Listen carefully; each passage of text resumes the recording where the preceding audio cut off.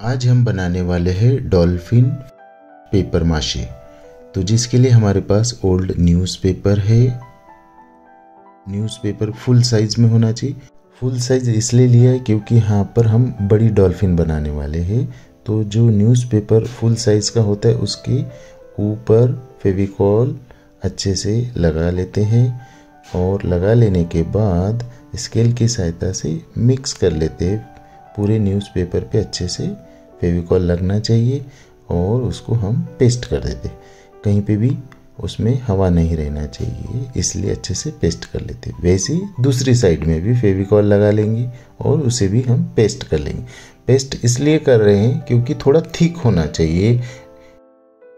इसलिए otherwise single paper लेंगे तो फट जाता है। तो यहाँ पे हम पेपर को थोड़ा मोटा कर ले रहे, इसलिए हमने यहाँ पे फेविकॉल लगाया। दो न्यूज़पेपर को चिपका दिया एक दूसरे में अच्छे से। तो यहाँ पे ओल्ड कोई भी न्यूज़पेपर लेते हैं। उसके बाद उसको हम फोल्ड करके चेक कर लेते हैं अच्छे से। यहाँ पर डॉल्फिन का हमारा मन चाया शेप में हम डॉल्फिन ड्रॉ कर सकते इसलिए हम यहाँ पे आउटलाइन कर लेते हैं पहले। उसकी आउटलाइन पेंसिल से कर लेते हैं। यहाँ पे उसका फिंस रहेगा। नीचे उसकी टेल रहेगी। इस टाइप से हम यहाँ पे ड्रॉ कर लेते ऊपर साइड से भी। अब ये पूरा ड्रॉ हो गया। इसको हम सीजर की सहायता से कट कर लेते हैं अच्छे से। तो अब हमने पेपर फोल्ड किया था इसलिए क्योंकि यहाँ पे हमें दो पार्ट उसके बनना चाहिए थे। तो इस टाइप से हम कट कर लेते ये दो पार्ट रेडी हो जाते हैं। ये रेडी हो जाने के बाद फेविकॉल की सहायता से हम उसको एक दूसरे पर चिपकाने वाले तो चिपकाते समय आधा ही चिपकाने वाले हैं। आधा चिपकने के बाद हम उसके अंदर पेपर के छोटे छोटे पीस करके भरने वाले हैं। चिपकाने के बाद थोड़ी देर सूखने देना है, तब तक हम उसका फिंस वाला पार्ट ड्रॉ कर लेते हैं। तो जैसे यहाँ पे दो पार्ट हमने बनाए थे, वैसे ही फिंस के भी दो पार्ट बनाते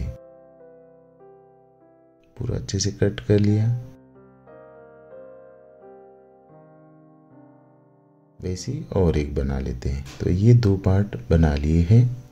इस टाइप से हम रख के देख लेते हैं कि हमें कहाँ पे अरेंज करना है। इसे भी हम ग्लू की सहायता से पेस्ट कर लेते और थोड़ी थोड़ी जगह उसमें ओपन रहने देते क्योंकि यहाँ पर हम उसके अंदर पेपर के छोटे छोटे पीस कट करके डालने वाले हैं।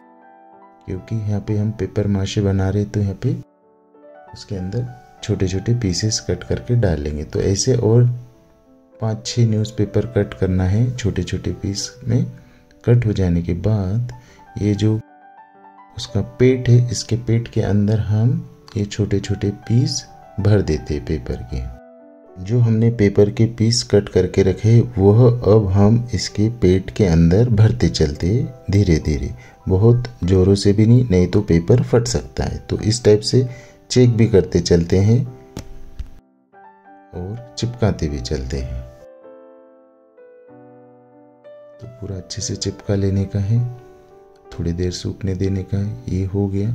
इसके बाद जो टेल का पार्ट है, उसमें भी छोटे छोटे पेपर डाल देते हैं। वैसे ही जैसा ऊपर किया, वैसे ही हम उसके फिंस के पार्ट में भी भर देते हैं। थोड़ी सी जगह ओपन रखी थी, क्योंकि यहाँ पे हमें पेपर के पीस कट करके डालना है। तो ये जो पेपर के पीस है, ये हम हाथ से भी फाड़ सकते हैं, नहीं तो कैची से भी कट कर सकते हैं। चिपका लिया अच्छे से। चिपकाने के बाद उसे सूखने देना है, क्योंकि उसमें से पेपर बाहर आ सकता है और चेक भी करना है। तो इसी टाइप से दूसरे वाले पार्ट में भी हम भर देते हैं। दोनों में अच्छे से पेपर भरना है, सेम साइज़ में। बहुत मोटा भी नहीं और बहुत पतले भी नहीं होना चाहिए। उस मात्रा में हम पेपर भर देते हैं और चिपका लेते हैं अच्छे से। तो ग्लू अच्छे से लग गया। अब इसके बाद हमने चेक करना है कि कहीं से फेविकॉल नहीं लगा होगा तो वो लगा लेने का है। सारी जगह चेक कर लिया। इसे भी अच्छे से चेक कर लेने का है। तो यहाँ स्टेपल का भी यूज़ कर सकते स्टेपलर का भी। ये होगा, ये हमारे पास कलर है तो हम पोस्टर कलर एक्रेलिक कलर का यूज़ कोई भी कर सकते जो हमारे पास अवेलेबल है। फ्लैट ब्रश की सहायता से कलर्स लगा लेते तो यहाँ पे हमारा मनचाहे शेड में भी हम डॉल्फिन का कलर कर सकते हैं। जैसा यहाँ पे हम ब्लू कलर कर रहे हैं अदरवाइज़ यहाँ पे वाइट और ब्लैक को मिला के ग्रे बना सकते हैं। वैसे भी करना है या और भी कई कलरफुल दोनों साइड से सेम कलर लगा लेते हैं। पूरा अच्छे से कलर लगाना है, कहीं पे भी छूटना नहीं चाहिए। बाद में इसे हमें डेकोरेट करना है तो भी हम कर सकते कुछ अलग से एक्स्ट्रा डेकोरेशन की चीज़ें ऐड करके लगाना है तो भी हम लगा सकते हैं। तो यहाँ पे हम कलरिंग अच्छे से लगा लेते हैं। दोनों साइड सेम सेम ये सूख जाने के बाद हम यहाँ पे नीचे की साइड में वाइट कलर लगाएँगे। तो फेंस को भी ब्लू कलर का लगा लिया और उसके बॉडी के ऊपर भी। अब जो नीचे की शेप है, वहाँ पे हम वाइट कलर कर रहे हैं। यहाँ पे हम ब्लैक कलर भी कर सकते हैं। तो कलर्स कॉम्बिनेशन हमारे चॉइस के हम डॉल्फिन के अंदर कर सकते हैं।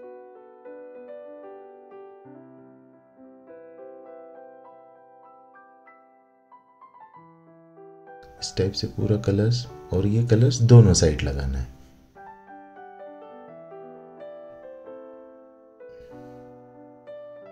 उसके बाद ब्लैक कलर की सहायता से हम ब्रश की सहायता से बॉर्डर बना लेते हैं। नहीं तो यहाँ पे हम बड़े मार्कर का भी यूज़ कर सकते हैं। ब्लैक कलर फिन्स को हो जाने के बाद अब हम जो डॉल्फिन है, उसको बॉर्डर कर लेते तो इस टाइप से हम दोनों साइड से ब्लैक कलर की सहायता से बॉर्डर बना लेंगे। पूरी बॉर्डर हो गया। अब यहाँ पे हम फेविकॉल की सहायता से पेस्ट करते हैं।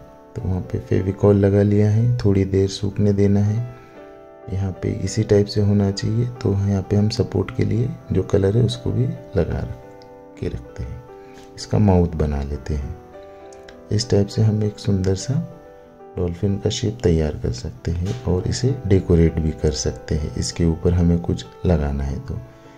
सारा चेक करना है, कहीं पे छूट गया, नहीं छूटा, ये सारी चीज़।